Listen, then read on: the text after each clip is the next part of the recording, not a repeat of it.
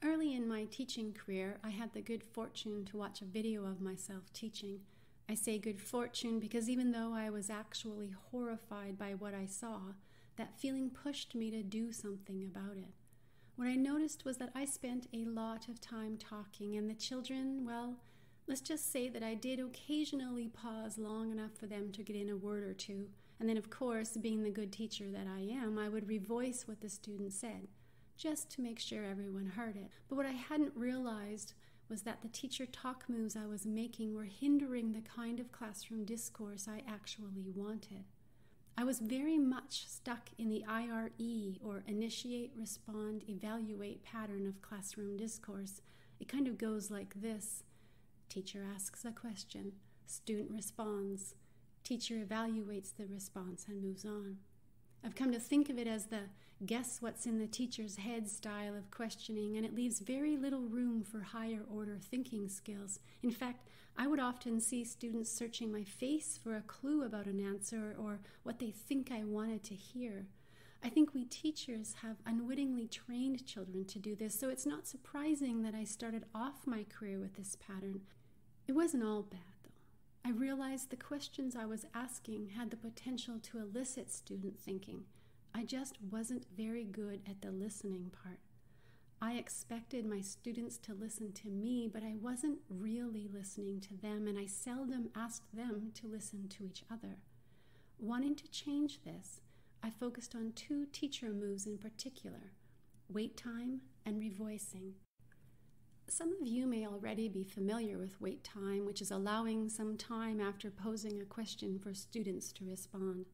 Typically, when teachers ask questions of students, they wait one second or less for the student to start a reply. Increasing that wait time to even three seconds has measurable benefits. First, the length of student responses increases. Second, we change the kinds of questions we ask. We ask more process questions, less product questions. And finally, the previously invisible students become visible. By this I mean those students who seldom speak up. There are some students who always seem to have their hand up immediately, but many of our students need more time to process their thoughts. Longer wait times provide the opportunity and incentive to apply their thinking skills.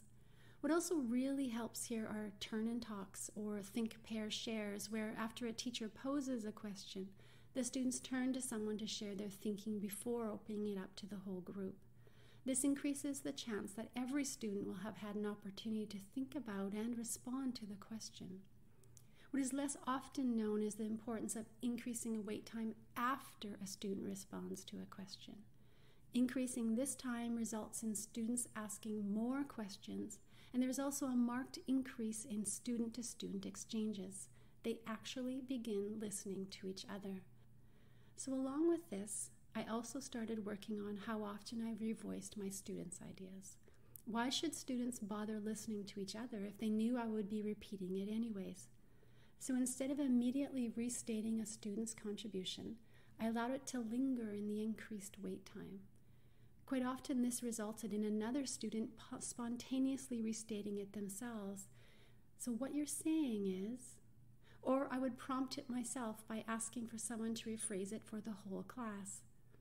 I saved my own revoicing opportunities for those times when there was particular mathematics language I wanted to reinforce.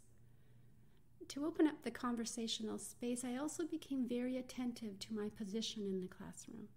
If a student near me was talking, I would move to the opposite side of the room so that the conversational space was expanded to include all of the children, rather than become a conversation between me and the child. If a quiet child wished to speak, I came closer to encourage them to begin, but slowly moved away as they spoke. Invariably, their voice would rise in volume without the humiliation of being told to speak up because no one can hear you. Wait time and revoicing are such seemingly simple changes, yet they have had a powerful impact on my practice. By listening to my students, I not only give them the opportunity to develop deep understanding, but I also find I am better able to develop insight into what they know and how they think.